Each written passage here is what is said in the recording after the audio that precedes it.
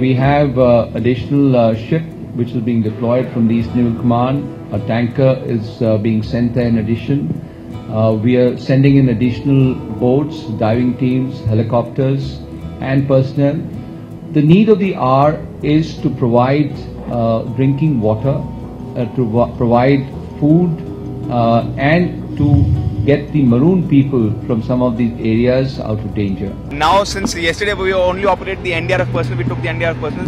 Now, even the army has uh, come in and we are carrying the army ALS vehicles and the water bowser and other relief materials also, along with the doctor, to help in uh, the rescue operations at Chennai. सदन चेन्नई मुझे बताया गया है कि सबसे ज़्यादा प्रभावित है और वहाँ पर कुछ बीटीएस और कुछ एक्सचेंजेस बंद थे जिसको कि अब चालू कर ली किया जाने का प्रयास किया जा रहा है तो network is almost 80 percent all right